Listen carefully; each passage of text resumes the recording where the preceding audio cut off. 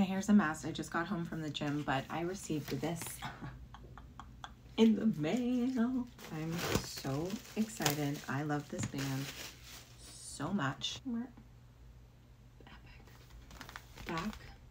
This is absolutely stunning. So I always open the left side first because I'm weird. I'm assuming this is a giant, oh my God, it's a book. It has the lyrics. Oh my God, I have so much to show you guys. I'm gonna have to do a whole YouTube video on this. Oh, this is insane. Black vinyl, but like super fitting with the theme of this album. So I'm not gonna pull out the other vinyl because obviously it's gonna be the same, but like this is chapter three. It has the songs. Oh my God, this is the craziest vinyl I've ever seen in my life. Are you seeing this? And then like